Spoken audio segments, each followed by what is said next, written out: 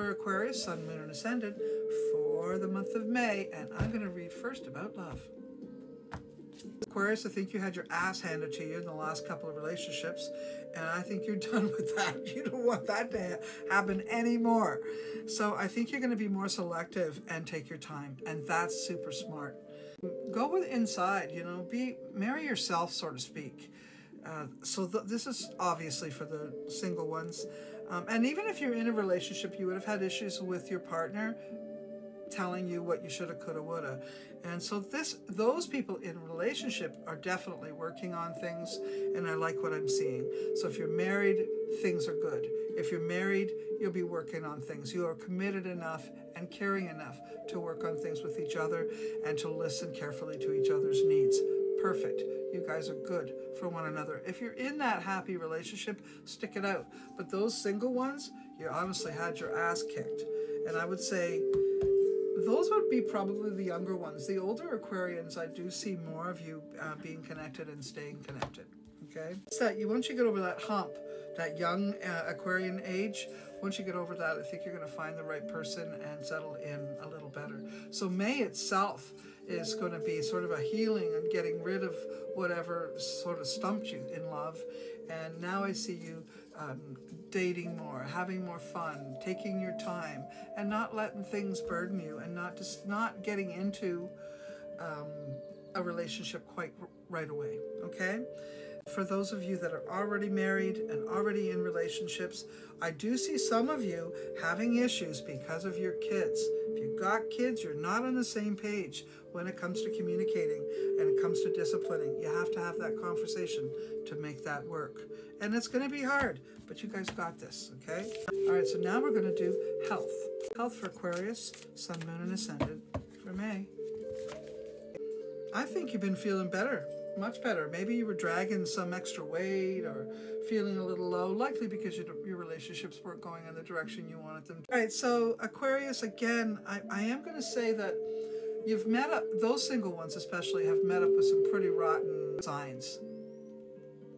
Anyways, Queen of Pentacles is in reverse, and this tells me that you've been meeting up with a lot of crazy people.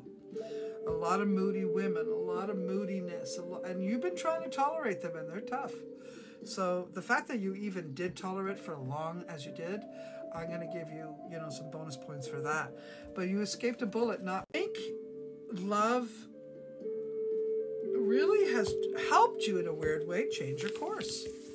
You know, I think it's helped you a lot that has increased your health. You know what I mean? It's helped your health. It's helped you be more confident and, and less stressed out. And I'd say you were gonna you were having maybe uh, stomach problems, ulcers, um, bowel issues, uh, just a lot of feeling sluggish, all of that.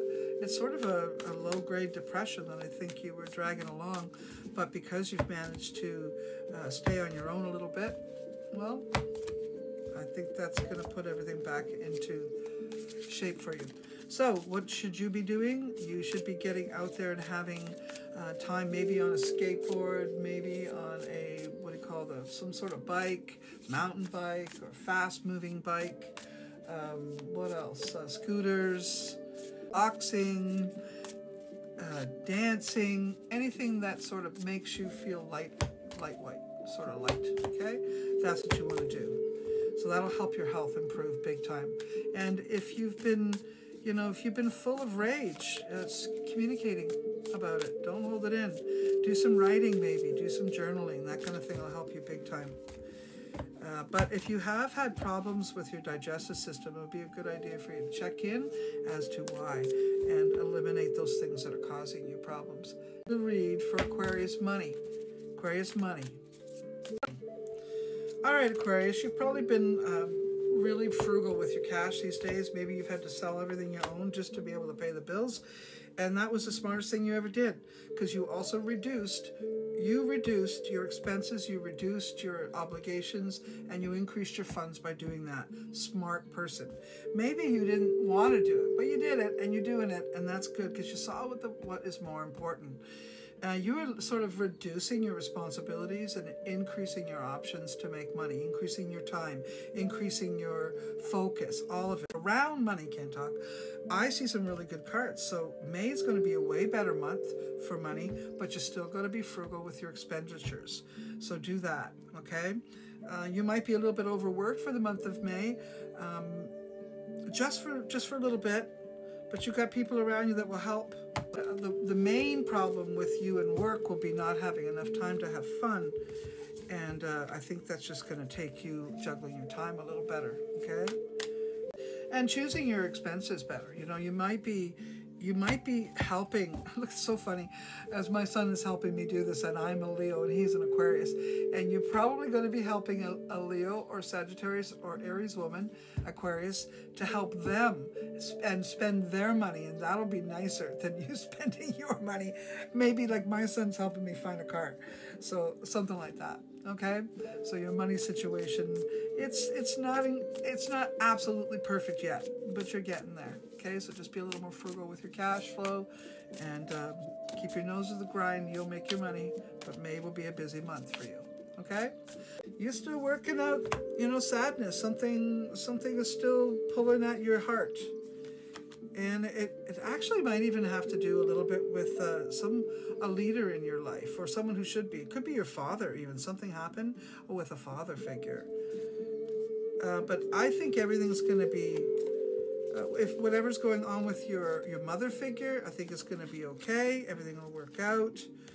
Um, but there could be some stuff coming up for you around um, your past hurts, and not with women, but maybe maybe people you trusted. Okay maybe people you trusted. So I do think you're going to be dealing with some of those things and helping a lot of people who have had, so, you know, some hard times, and you're going to be helping them, and that's really sweet of you. You're a good person. You're a kind person. Um, get out more, have some fun. You've probably made a, a, fairly significant move, and sometimes you like it, and sometimes you don't. There's lots still yet to do to make your your um, life the way you want it, but May is one of those months where you're going to be at it, nose to the nose to the grind, getting her done. So it'll be fine. Everything will be fine.